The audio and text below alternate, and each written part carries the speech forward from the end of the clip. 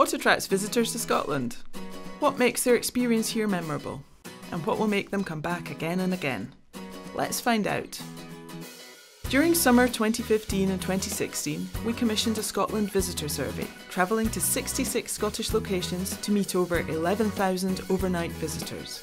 Nearly 3,000 of them then completed an online survey at home, providing valuable insight for everyone involved in tourism in Scotland. Before coming to Scotland, Visitors are attracted by a range of influences, but our scenery and landscape are front of mind for everyone, no matter their age or nationality.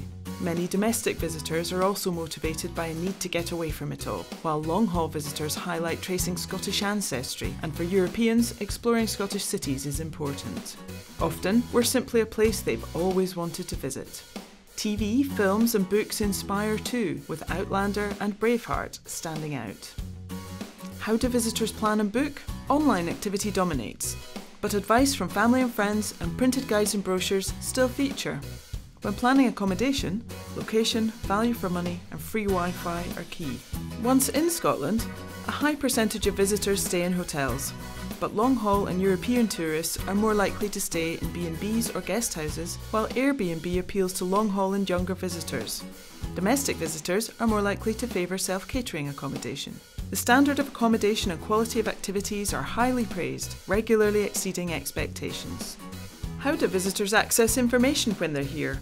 Well, many speak to the locals, but Google searches, visitor information centres, and advice from accommodation providers are all popular.